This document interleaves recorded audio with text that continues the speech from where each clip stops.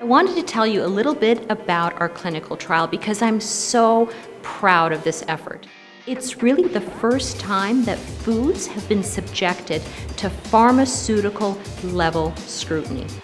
What we did was to simply ask people to eat our foods twice a day instead of something they're doing already. That was it. We specifically asked them to change nothing else. They didn't have to start exercising, they didn't have to become vegans. And after 30 days, what we saw was spectacular cholesterol reductions, highly statistically significant, with some individuals experiencing cholesterol drops like they might see with a medication. In fact, our results were so exceptional that we were invited to present them at American Heart Association's scientific session. Now that's validation.